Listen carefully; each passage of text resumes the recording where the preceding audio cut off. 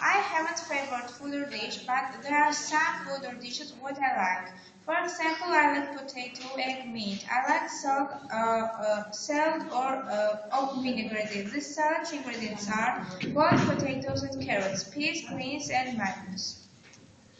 Thank you.